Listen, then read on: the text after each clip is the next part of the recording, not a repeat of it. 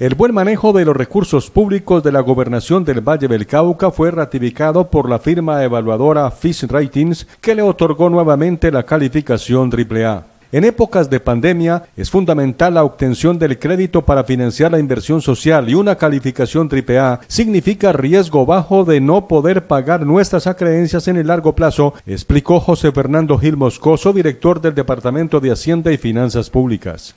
Y una calificación AAA significa riesgo bajo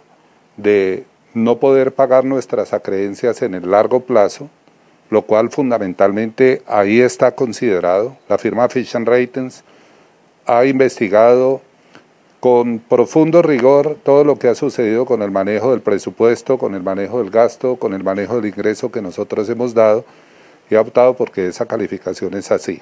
Fitch Ratings también otorgó la calificación F1 más Colombia, con lo que se demuestra que aún en el corto plazo la entidad puede cumplir con sus obligaciones financieras. Que, significa que aún en el corto plazo, a pesar de la pandemia, a pesar de los inconvenientes que tenemos,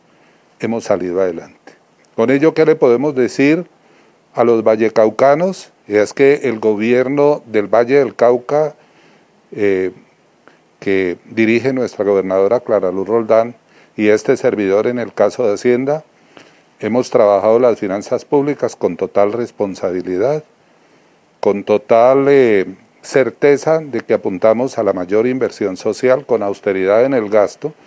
y eso nos ha permitido no solamente que nos califiquen con, de esta manera en el tema de deuda, sino también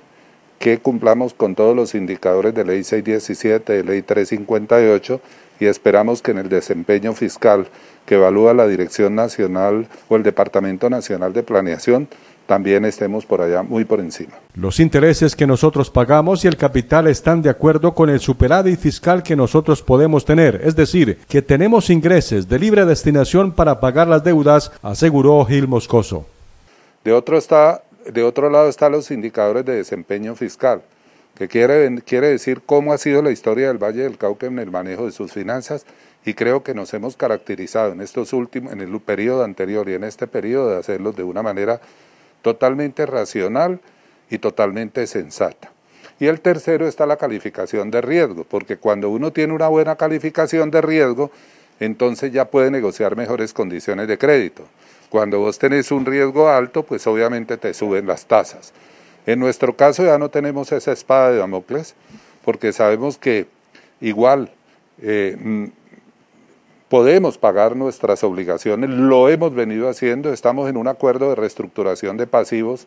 del cual hemos pagado en toda su historia desde el 2012 más de 800 millones de pesos